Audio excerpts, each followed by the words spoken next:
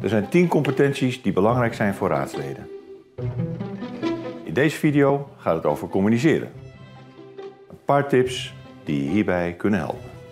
Luister naar inwoners en ondernemers en communiceer actief en helder.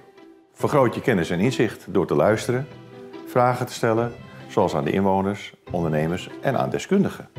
Signaleer emoties en opvattingen die in de samenleving spelen en vertolk deze in de gemeenteraadzaal. Praat in heldere taal, zonder vaktaal en wees kort van stof. Wees ook toegankelijk voor je inwoners en reageer op vragen die ze stellen en zorgen die ze met je willen delen.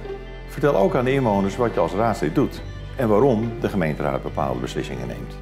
Tot slot een persoonlijke tip. Blijf herkenbaar. Laat zien dat je de gemeente kent en blijf dicht bij jezelf. Veel succes!